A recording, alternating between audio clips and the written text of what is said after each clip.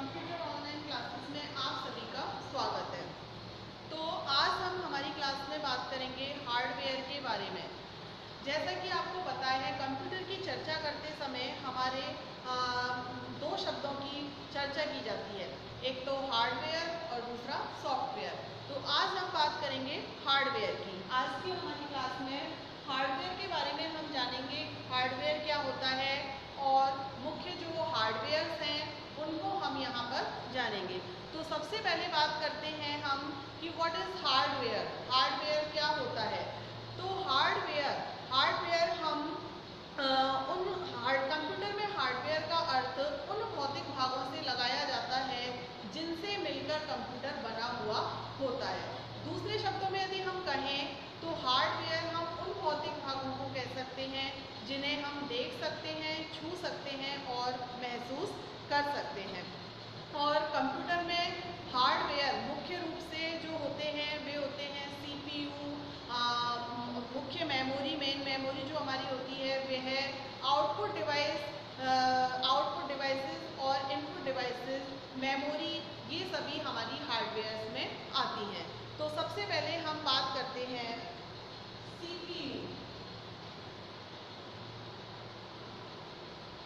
CPU यह है हमारे जो कंप्यूटर होता है उसका मेन पार्ट होता है हार्डवेयर के अंदर और इसका पूरा नाम होता है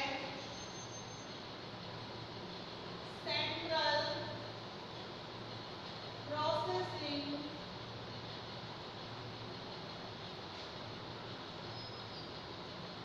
unit computer hardware में सबसे पहले हम सीपीयू के बारे में बात करेंगे सीपीयू का पूरा नाम सेंट्रल प्रोसेसिंग यूनिट होता है और यहाँ कंप्यूटर में हम जो भी निर्देश उसे देते हैं जो भी डाटा डालकर हम उसे निर्देश देते हैं, उसके ऊपर जो प्रोसेसिंग होती है, वो सारा प्रोसेसिंग का कार्य हमारा कंप्यूटर में सीपीयू करता है। सीपीयू को कंप्यूटर का दिमाग भी कहा जाता है। मेन पॉइंट है कि क्वेश्चंस भी आते हैं, जो हमारे ऑब्जेक्टिव टाइप क्वेश्चंस एग्ज़ाम में आता है, उसमें यह क्वेश्चन भी आता है कि सीपी कंप्यूटर का दिमाग किसे कहा जाता है? ब्रेन ऑफ़ ए कंप्यूटर किसे कहा जाता है? तो यहाँ आप इस बात को नोट कर लीजिए कि सीपीयू को कंप्यूटर का दिमाग कहा जाता है। और सीपीयू मुख्यतः दो भागों से मिलकर बना हुआ होता है। फ़र्स्ट होता है A N U and second C U दो पार्ट से बना हुआ होता है ए एल यू और C U A L U का पूरा नाम होता है arithmetic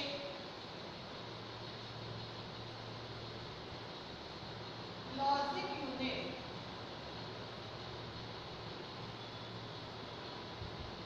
arithmetic logic unit और सी यू का पूरा नाम होता है कंट्रोल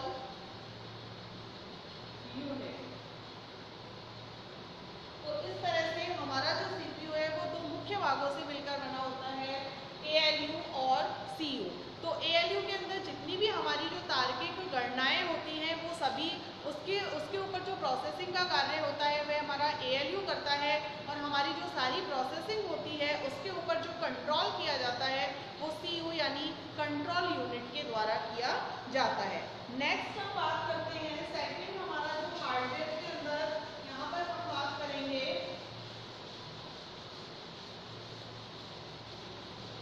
मदरबोर्ड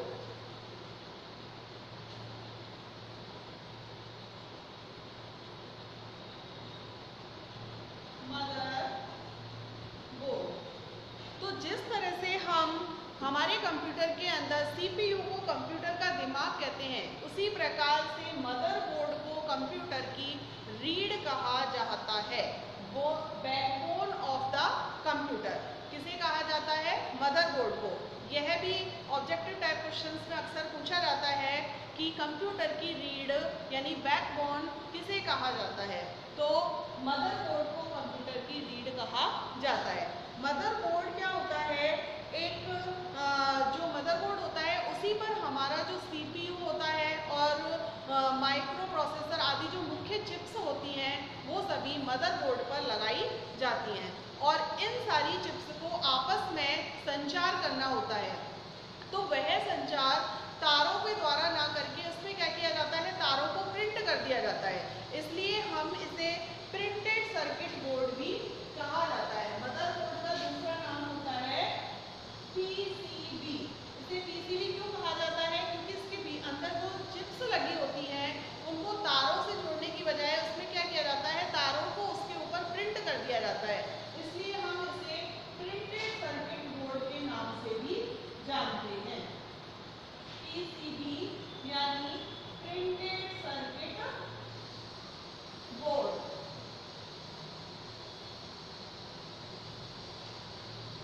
okay next हमारा हार्डवेयर में हम बात करते हैं micro processor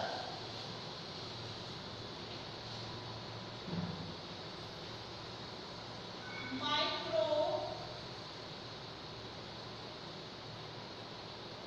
processor microprocessor क्या होता है एक ऐसा सीपीयू होता है जो अत्यंत सूक्ष्म माइक्रोचिप से बना हुआ होता है और इसमें वे सभी भाग होते हैं यह जो जो कि एक डिजिटल कंप्यूटर के सीपीयू में जो होती हैं वो सारे भाग इसके अंदर होते हैं वे सभी हार्डवेयर इकाइयाँ इसकी होती हैं और ये सबसे नवीनतम तकनीक रूप या माना जाता है। और हम इंटेल इंटेल 4004 इंटेल 4004 पहला माइक्रो प्रोसेसर था हमारे कंप्यूटर तकनीक में जो पहला माइक्रो प्रोसेसर बनाया गया था उसका नाम था इंटेल 4004 और इसका निर्माण इंटेल नामक कंपनी ने किया था तो ये माइक्रो प्रोसेसर हमारे सेकंड जनरेशन की जो कंप्यूटर थे उनमें हमारा माइक्रो प्रोसेसर लगाया गया था जैसा कि हम पहले भी पढ़ चुके हैं कि हमारी जो फ़र्स्ट जनरेशन के कंप्यूटर थे, उनमें वैक्यूम ट्यूब्स का प्रयोग किया जाता था। लेकिन जब हमारी सेकेंड जनरेशन कंप्यूटर के विकास में स्टार्ट हुई तो उसमें उसका सबसे बड़ा जो आविष्कार था, वह माइक्रो प्रोसेसर्स का आविष्कार था।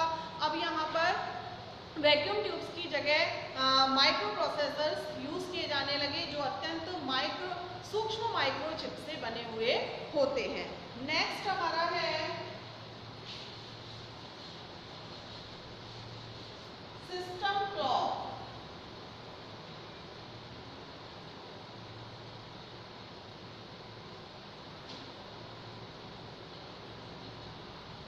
सिस्टम क्लॉक प्रत्येक कंप्यूटर में एक सिस्टम क्लॉक होती है। प्रत्येक कंप्यूटर में एक सिस्टम क्लॉक होती है। यह जो सिस्टम क्लॉक होती है यह पूरी तरह से कंप्यूटर के ऊपर कंप्यूटर के प्रत्येक कार्य को यह व्यवस्थित करती है और इसमें जो एक साइकिल जो आ, एक जो चक्कर होता है जो पूरा कार्य करने की जो गति होती है उसे तो हम क्लॉक की आवृत्ति कहते हैं। और जब ज़ीरो से एक तथा एक से पुनः ज़ीरो आने पर जो समय लगता है उसे हम क्लॉक साइकिल कहते हैं।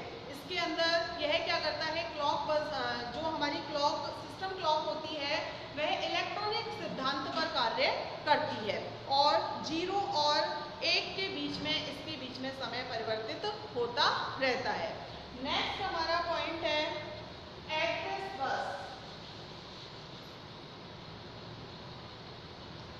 एड्रेस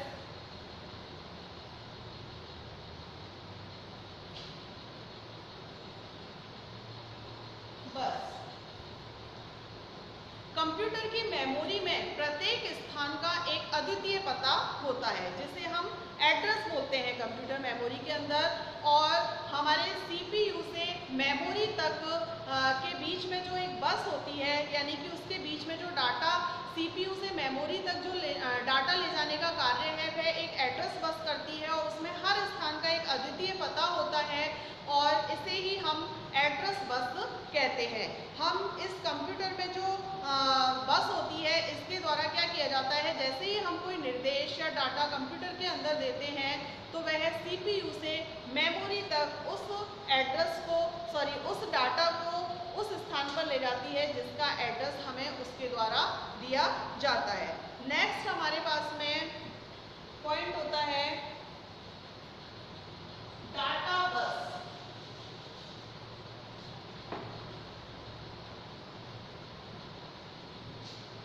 डाटा बस डाटा बस का उपयोग भी सीपीयू तथा मेमोरी के बीच में डाटा संचरित करने में किया जाता है और इसका डाटा बस की जो चौड़ाई होता है चौड़ाई होती है उसका कंप्यूटर की गति पर बहुत अधिक प्रभाव पड़ता है और इसके अलावा नेक्स्ट होती है हमारी cache memory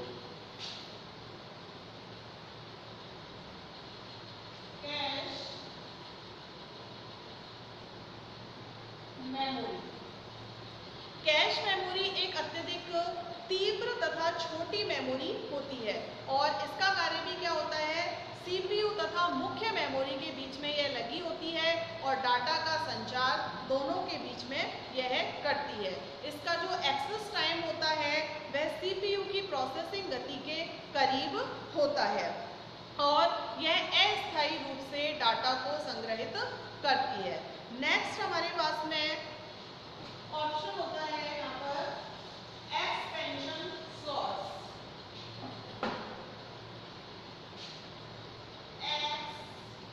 expansion slots expansion slots क्या होते हैं मदरबोर्ड में आपने देखा हो तो कुछ खांचे टाइप के बने होते हैं और उनमें कुछ कार्ड्स का हम प्रयोग करते हैं कंप्यूटर में कुछ फैसिलिटीज़ के लिए हम कुछ कार्ड्स लगाते हैं उन्हें हम एक्सपेंशन स्लॉट्स के अंदर लगाते हैं। तो इसमें मुख्य रूप से कुछ कार्ड्स होते हैं, जैसे कि पहला होता है हमारा video controller. Video controller.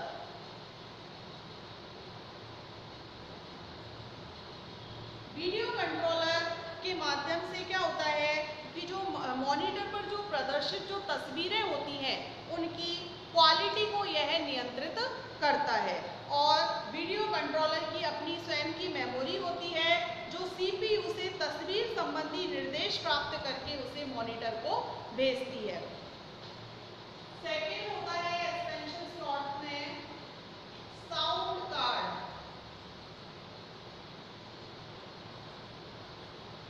Sound card जैसा कि इसके नाम से ही हमें पता चलता है साउंड यानी ध्वनि कार्ड तो ध्वनि कार्ड क्या होता है? कंप्यूटर में आ, हम जो ध्वनियाँ होती हैं उनको सुनने के लिए हमें यहाँ पर साउंड कार्ड का यूज़ करना होता है।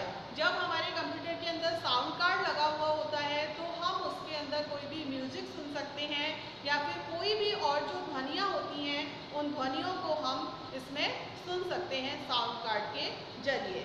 थर्ड होता है network card network card network card को एनआईसीडी कहा जाता है एन आई सी जो हमारा नेटवर्क कार्ड होता है उसे नेटवर्क सॉरी एनआईसीडी कहा जाता है एनआईसी का फुल नेम होता है network interface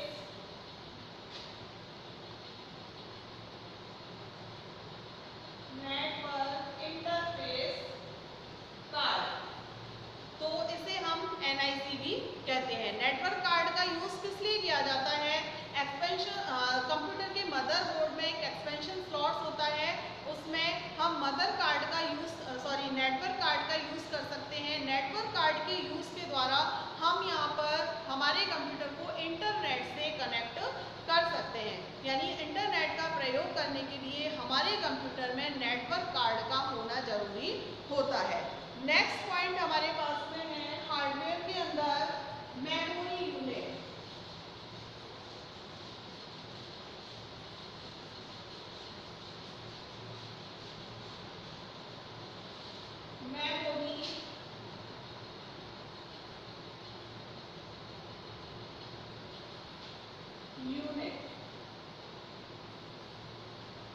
memory unit memory का मीन आप समझते ही हैं, मेमोरी यानी स्मृति, यादें। यानी कि हमारी स्मृति, हम किसे कहते हैं? हमारी जो स्मृति होती है, वो कहाँ आकर रुकती है? हमारे दिमाग के अंदर जो भी हम बातें सुनते हैं, देखते हैं, वो हमारी कहाँ स्टोर होती है? हमारे ब्रेन के अंदर। इसी तरह से कंप्यूटर के भी अंदर मेमोरी होती है, उसमें जो भी आप डाटा संग्रहित करते हैं, वह सारा डाटा जाकर वहाँ पर संग्रहित होता है, इसलिए हम उसे मेमोरी यूनिट कहते हैं। कंप्यूटर की जो मेमोरी होती है, उसको हम सामान्यतया के बी किलोबाइट्स जीबी यानी गीगाबाइट्स और एमबी यानी मेगाबाइट्स के अंदर नाप सकते हैं। अब देखें हम कंप्यूटर की मेमोरी को दो वर्गों में विभाजित कर सकते हैं। हमारी जो मुख्य मेमोरी होती है, वो दो प्रकार की होती है first primary memory primary memory and second secondary memory तो हम यहाँ पहले बात करेंगे प्राइमरी मेमोरी की तो हमारी जो प्राइमरी मेमोरी होती है इसे मुख्य मेमोरी भी कहा जाता है इस मेमोरी की जो प्रोग्रामिंग गति होती है वो अत्यधिक तीव्र होती है क्योंकि यह सीधे सीपीयू से जुड़ी हुई होती है हम जो प्राइमरी मेमोरी होती है इसको भी हम दो भागों में विभाजित कर सकते हैं फ़र्स्ट होता है RAM and second ROM RAM और रोम रैम का पूरा नाम सबसे पहले हम बात करते हैं रैम की तो रैम का पूरा नाम होता है random access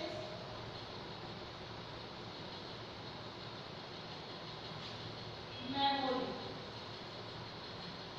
random access memory इसे हम रैंडम एक्सेस मेमोरी इसलिए कह, कहते हैं क्योंकि इसे रैंडमली एक्सेस किया जा सकता है यह जो मेमोरी होती है वह वॉलीटाइल यानी कि अस्थाई मेमोरी होती है अस्थाई यानी हम इसमें जो भी डाटा एक बार में संग्रहित करते हैं यदि जब तक विद्युत प्रवाह है और हम डाटा संग्रहित कर रहे हैं तो उसी समय तक हमारे इस मेमोरी के अंदर डाटा संग्रहित रहता है, लेकिन जैसे ही विद्युत प्रवाह बंद कर दिया जाता है तो इसमें रखा हुआ सारा डाटा भी विद्युत के साथ साथ नष्ट हो जाता है। इसलिए हम इसे अस्थाई या वॉलेटाइल मेमोरी भी कहते हैं। इस मेमोरी को भी दो भागों में विभाजित किया जाता है। रैम रैम को भी सबसे पहले मेमोरी हमारी दो प्रकार की होती है प्राइमरी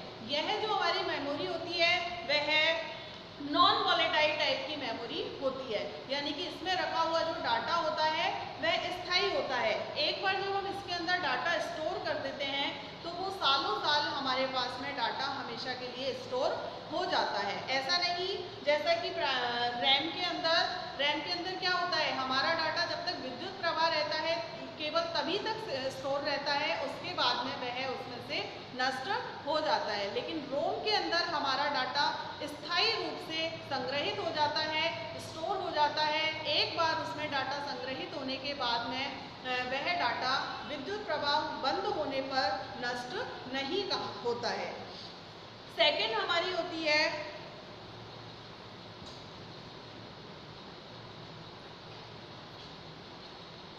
ये हमारी प्राइमरी मेमोरी के दोनों प्रकार होते थे रैम एंड रोम दूसरी हमारी होती है सेकेंडरी मेमोरी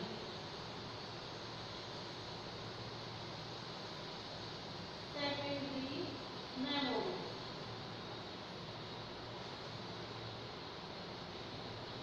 प्राथमिक मेमोरी जो हमारी थी प्राइमरी मेमोरी वो बहुत आवश्यक होती थी। बहुत आ, उसकी आवश्यकता तो थी लेकिन नाशवान होना और आ, उसका जो सीमित मात्रा में होना ये उसकी सबसे बड़ी कमियाँ थी।